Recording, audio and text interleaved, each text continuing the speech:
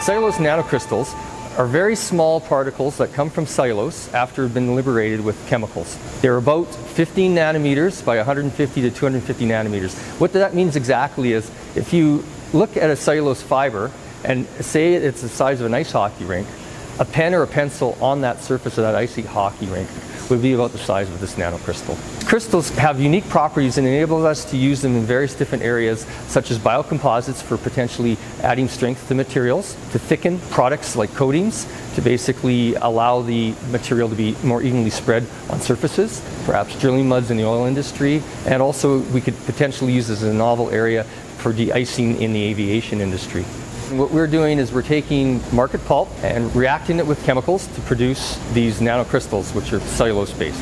We are in our CNC pilot plant. This you're looking at here is our reactors, 200 liter glass lined, that we add our material and convert it from cellulose into CNC.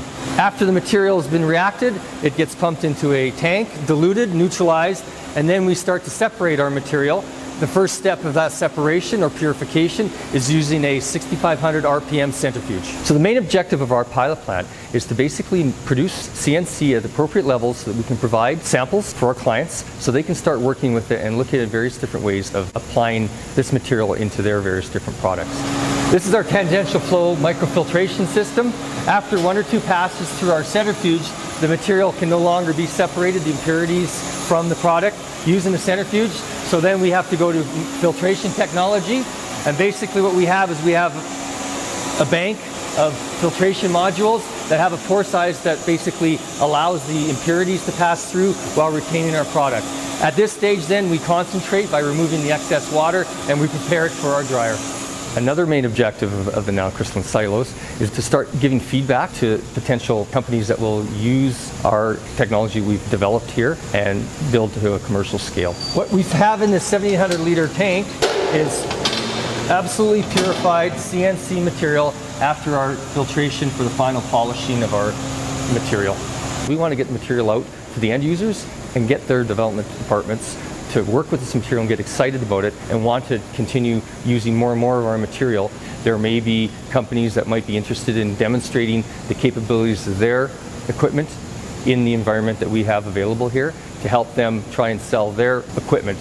After spray drying, what we have as a resulting material is a fine white powder that is ready to ship to clients.